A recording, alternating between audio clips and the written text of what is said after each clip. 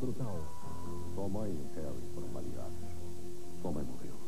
O início de uma emocionante luta pela vida. Temos que ficar juntos como uma família. Temos que ser fortes. Vítimas do Amor.